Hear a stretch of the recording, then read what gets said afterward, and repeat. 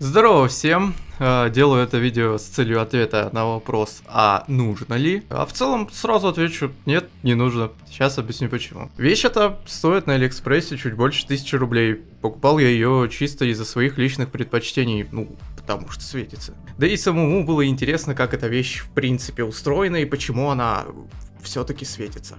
Вообще тут на самом деле нет ничего мудреного. Весь коврик состоит из двуслойного полотна, который состоит из резины на нижнем слое и микрофибры наверх.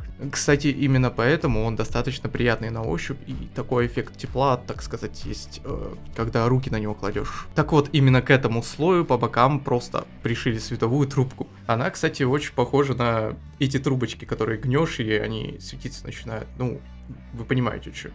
В самом пульте стоит тупо два светодиода, которые направлены в разные стороны в эти трубки. От того свечение и происходит. Изначально я вообще думал, что вся эта подсветка работает от светодиодной ленты. Сам по себе коврик очень приятный на ощупь, мышь на нем ездит ровно, рука не потеет, идеально подойдет для темных столов и хорошо выделяет рабочую область в целом.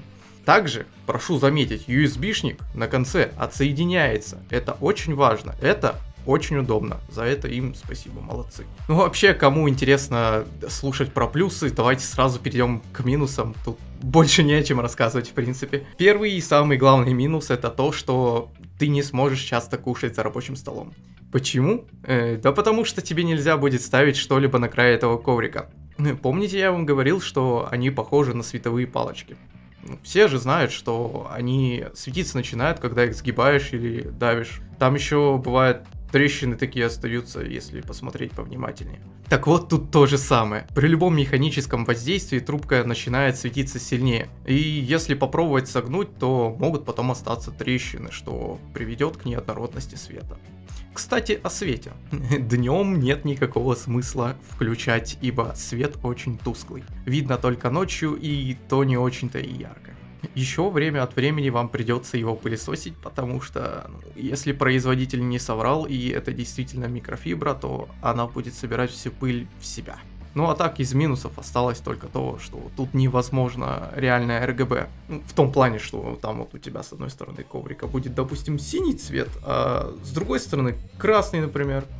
Такого здесь невозможно ввиду его конструкции, в принципе. Ну это в целом как бы мелочь.